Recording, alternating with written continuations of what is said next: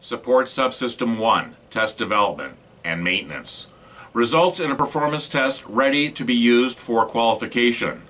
A test developer works with a master performer to develop or change a test that is needed for a specific task. Other master performers and subject matter experts review the test for accuracy and completeness. The test is tried out on a master performer as a validity check and may be more formally pilot tested.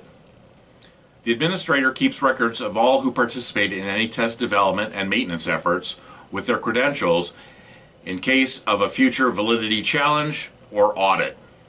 Performance testing. It's all about performance and demonstrated competence.